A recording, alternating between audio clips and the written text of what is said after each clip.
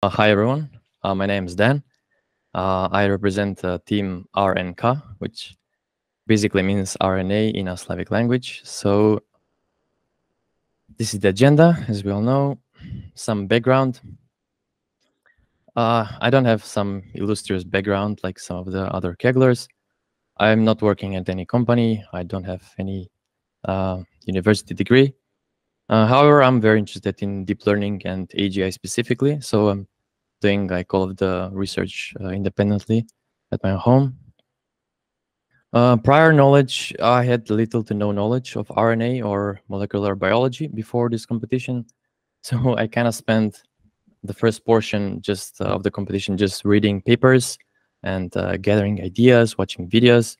And also this is my first Kaggle competition. So I'm very lucky to be here in the uh, winners panel. Mm, I included this screenshot because this was, uh, let me, uh, yeah, uh, this was one of the, the things that got me really hooked into this competition. Um, this sentence was, without being able to understand how RNA molecules fold, we're missing a deeper understanding of how nature works and how life began. And this really, really stuck with me throughout the whole competition. I think I had some few sleepless nights just thinking about this stuff. Um, this is just a quick summary. I used two types of models in this competition. Uh, I used the SqueezeFormer architecture. Uh, this is just a transformer plus CNN. And I also used an augmented AlphaFold style uh, twin tower architecture. Um, I mainly used uh, two models because I was not sure if I'll be able to uh, to make a reasonable model with uh, from the AlphaFold style in the allotted time. So the SqueezeFormer model was kind of a like a backup, like a safe option. But uh, fortunately, uh, it helped uh, having two different models. Uh, as we can see, the SqueezeFormer architecture, this is a single model. It performed 14237 on the private. And the Twin Tower architecture performed uh, 14366 on the private. But when they were combined, I think this was uh, eight place on the private, and this was somewhere around 12. But the combination of them proved crucial for the third place. Um, I would like to talk more about the models. Uh, so first uh, is the SqueezeFormer architecture, as was discussed in the uh, previous uh, previous solution. Uh, the SqueezeFormer architecture consists of uh, three modules. It's the uh, multi-head uh, self-attention module, convolution module, and feed-forward module. They are arranged in this fashion. So it's multi-head, layer norm, feed-forward, layer norm, convolution, layer norm, and then feed-forward again. This consists of one SqueezeFormer block. This is repeated 14 times in my solution. And then just a simple out projection. So we can have um, predictions for uh, the two uh, different experiment types. Um, as input for this model, I used uh, sequence tokens along with BPP matrices. Um, and some of the key points are, as discussed before, use of relative encodings, the injection of uh, base pair probabilities into the attention scores, and uh, also uh, using as synthetically created data from the uh, from the noisy uh, low signal to noise ratio data. Um, the way the attention scores are calculated are is, is as follows. So from absolute encodings, uh, we saw like early in the competition that this was uh, not going to work since we had like uh, the the length of the uh, input sequences were 206 and the um, the trade the test set was 457 so there was no way that uh, the model is going to generalize without seeing those positions.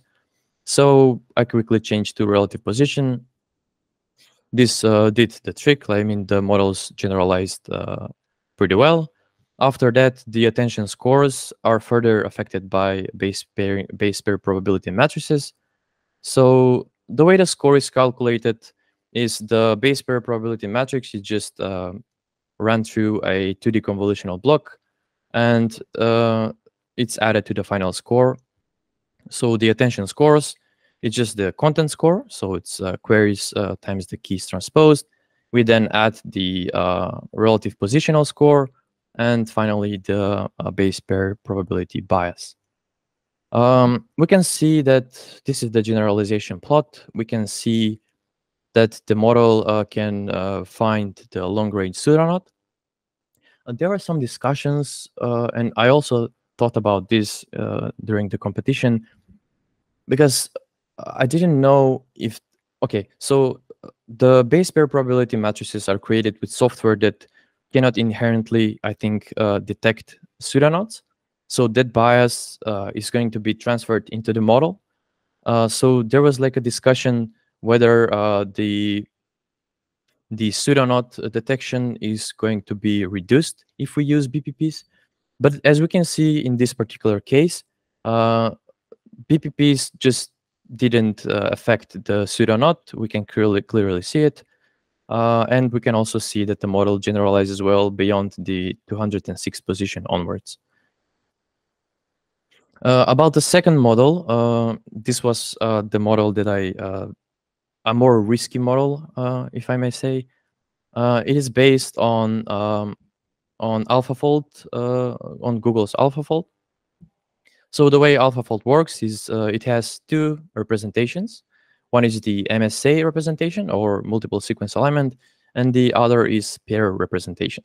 Um, because for this competition, uh, MSA wasn't, I think it wasn't so uh, useful because the data was created synthetically on the Eterna, and there were no uh, evolutionary signals between them.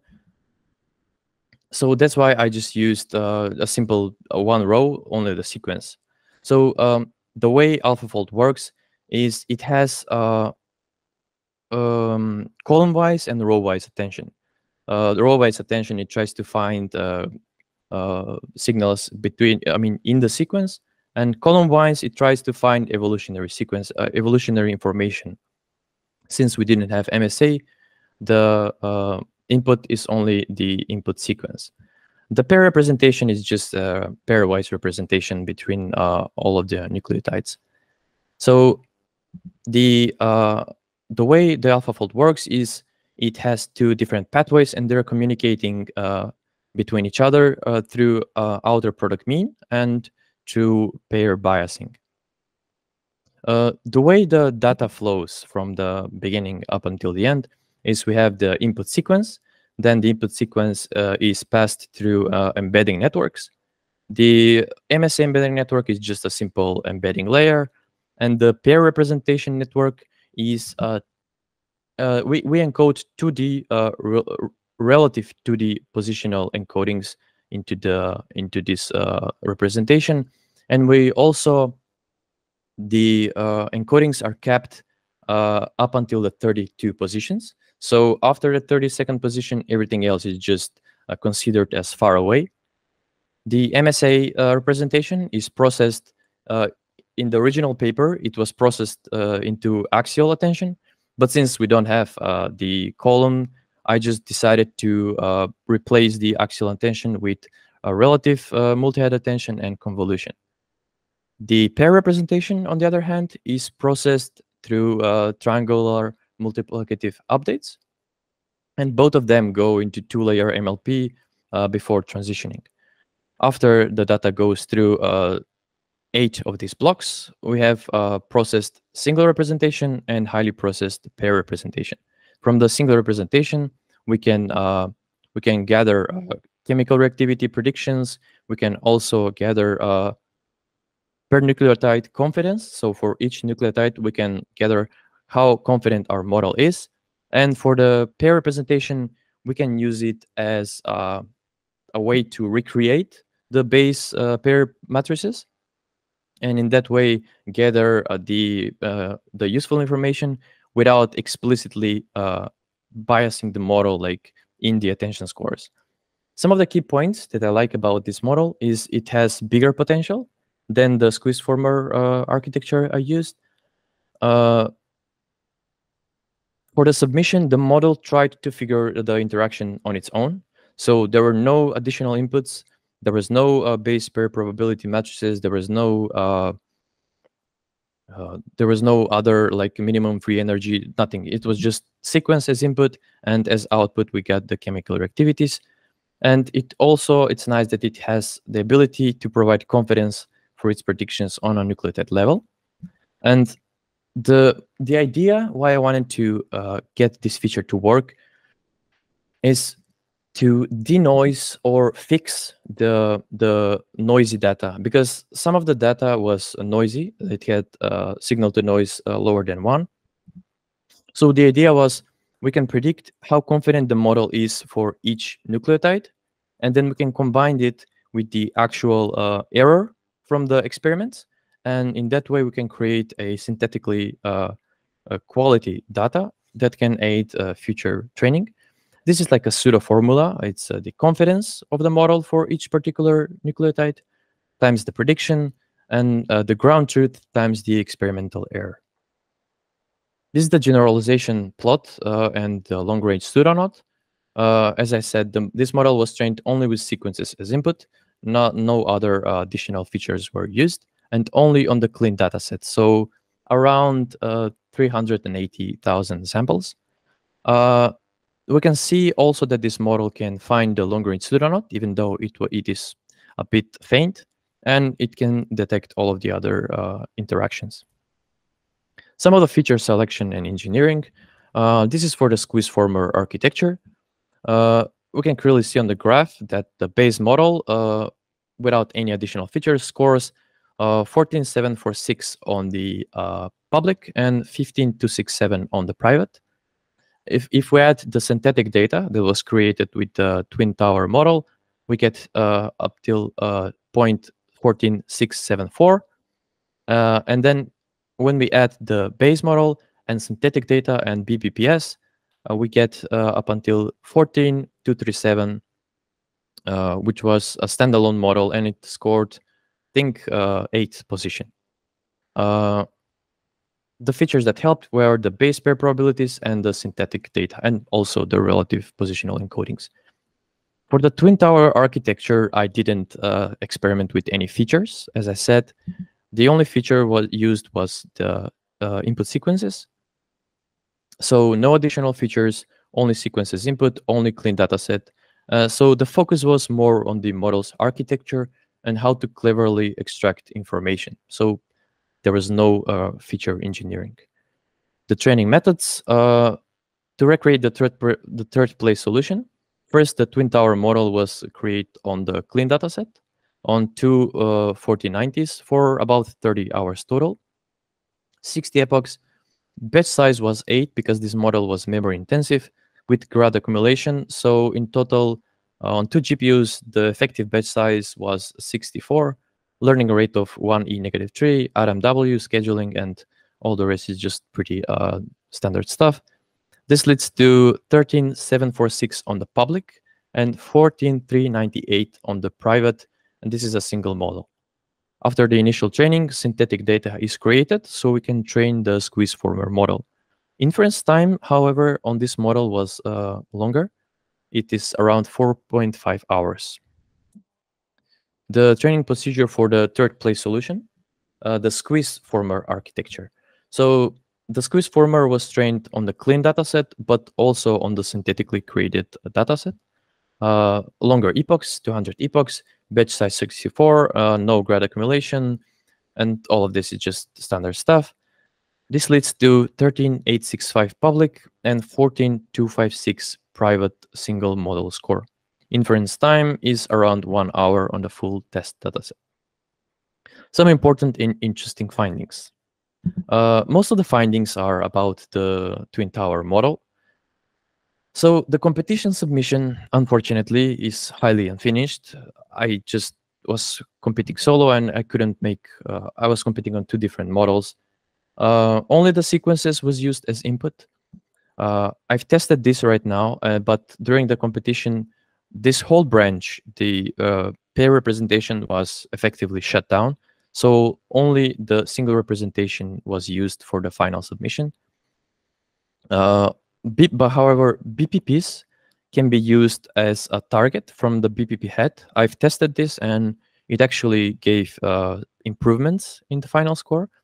So we can use only sequences as input uh, during inference time, but during training time, we can train the model also on the uh, on the base pair probabilities. So we can make the model during inference to only use a single input uh, for the predictions. This model, even though synthetic dataset was available, this model was not trained on the synthetic dataset. Uh, again, during because of uh, time restrictions. Uh, some early tests showed that the increase in depth, so from 8 to 12 blocks, increased the score. However, I should say that this model uh, suffers from, I mean, it doesn't suffer, but the training time is is uh, longer than the squeeze former. So increasing the blocks will further increase the training time. Uh, also, recycling was not used uh, that was implemented in the original paper. This is a, a part that can be improved. Because of memory uh, problems, uh, only triangular multiplicative updates are used. Uh, the triangular self attention, as you can see, is uh, omitted. And another thing that can be improved, and it's interesting finding, is that since RNA can take on multiple conformations, uh, dropout we can use dropout during uh, inference time so we can sample uh, different uh, different uh, predictions and average them uh, to have a better sense of the multiple RNA conformations. about three minutes then. Up, yeah, I'll be done soon. this is again the plot. We can see that only with the sequence features as input, we can find all of the relevant uh, informations. Uh, I just want to say that during the competition, the current synthetic dataset was not uh, uh, it's not utilized the full uh, the full options of the confidence prediction. I didn't have time to make a good formula that can combine the um, model's prediction, the confidence about the prediction, ground truth, and experimental error. So the current synthetic dataset is not the best. It's uh, created by uh, weighing of the ground truth and the model's prediction. Uh, we we were asked about simple model. I think the squeeze former model is simple by nature. It can be trained under 10 hours if you use the bigger batch size. And it has a pretty good uh, private score, eight place standalone model. Uh, that's it.